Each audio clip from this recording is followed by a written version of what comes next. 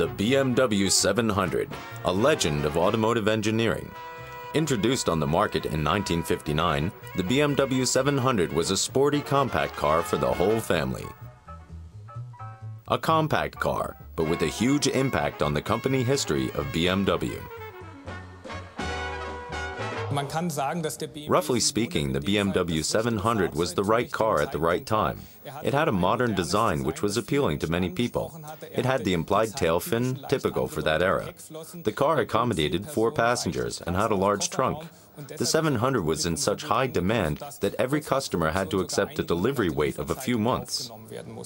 Der große Wurf für BMW im Augenblick ist der 700er.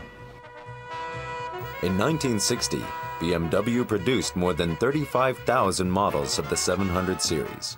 For BMW, the successor of the BMW 600 became a huge success. In its first year, the 700 was responsible for 58% of the total sales.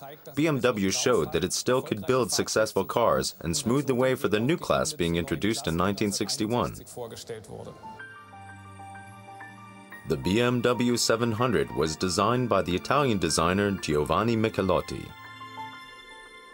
A two-door sport wagon with modern stylistic elements. A convincing car that fits seamlessly into the portfolio of BMW. At the end of the 50s, the BMW portfolio consisted of the 501, 502, 503, 507 luxury cars and the compact BMW Isetta. A model in between was missing, and that gap was filled by the 700. Für diesen Wagen gibt es nur eine Norm: Höchstleistung.